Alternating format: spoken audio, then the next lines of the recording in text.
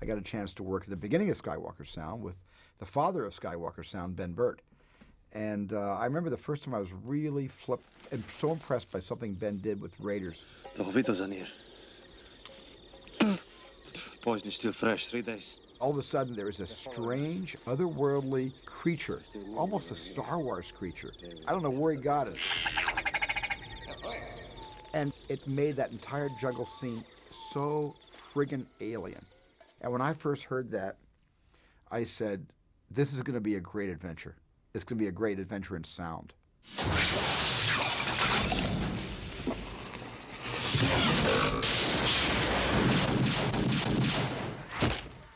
I had a conversation, a long conversation with Steve uh, over the phone about the nature of the whole film.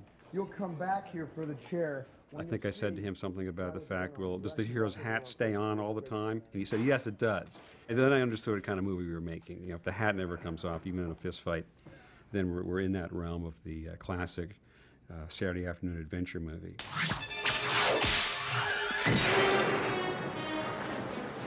We knew that Indy had a whip. And of course, we could have pulled the whip sounds from a library, since obviously there's been whips recorded in the past, but no, we wanted to do it ourselves.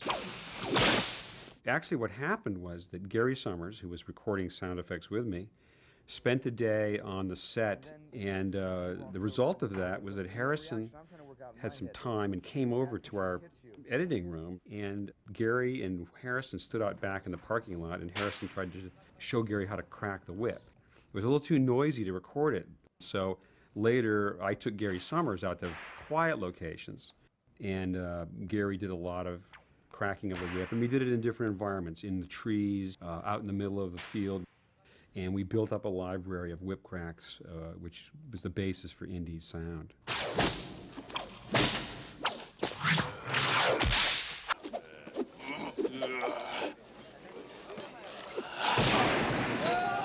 A gunshot can just be a pop or a click, depending on where you record it, because it's just a sudden, very brief, uh, loud noise, like a hand clap. The actual Indiana Jones gunshot was a 30-30 Winchester rifle that was recorded. We did a lot of different gunshots. We probably recorded, you know, a few hundred different guns in different locations.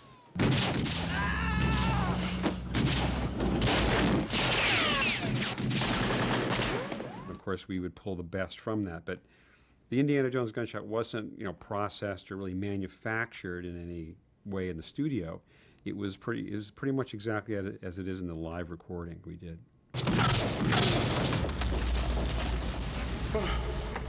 The giant boulder was a tricky sound to invent because it had to have weight, but it also had to accelerate and move very fast, and finding something that big and getting it to move fast was hard. We had uh, several different sessions where we went out and tried to stage a boulder sound, and they were not successful. Um, but on one of the last days, we, um, we were coming back from the location, and we were on a steep hill, and we were in this little Honda Civic station wagon on a gravel road on this mountain, and we were just coasting down the hill without the motor running, and we realized that the car sounded really interesting.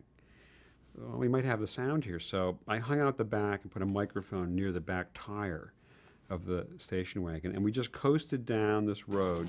And as the car accelerated, it gave a sense of gathering speed, and it, uh, that ended up being really the basis for the giant boulder.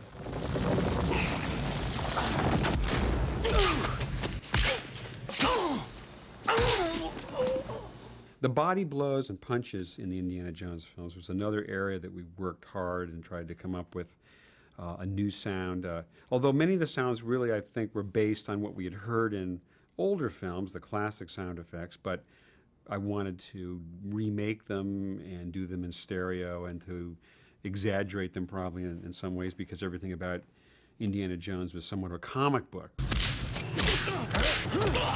We tried a lot of different experiments. We beat on pieces of meat. We broke chicken bones. Probably we had our most success with a pile of leather jackets and a few baseball gloves and making a loose uh, pile of this material and then whacking it with a baseball bat.